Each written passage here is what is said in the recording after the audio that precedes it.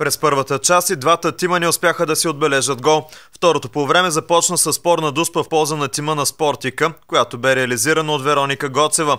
До края на матча момичетата на Берони успяха да изравнят и допуснаха трето поражение от старта на шампионата. Стана хубав матч, за съжаление загубихме нелепо. Това е с две думи. Имахме възможност ние да вкараме гол, но за съжаление, загубихме този матч. Чардаклев коментира и миналият кръг, когато Беро успя да завърши наравно 2 на 2 като гост на един от фаворитите в шампионата LP Суперспорт. Направихме матча на годината. Е, невероятна игра от нашите момичета. Е, имахме, поведохме с 2 на 0, имахме 3 чести положения след това. Е, вкарахме се нелеп автогол и съдята имаше нарушение с нашата вратарка, той го отмина и ни вкараха за 2 на 2.